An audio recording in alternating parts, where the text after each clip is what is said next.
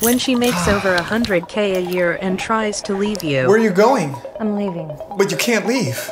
Give me one good reason why. I'm pregnant. That is not how biology works. Please don't leave us, Molly. Whose kid is this? You've been served. Here's your child support.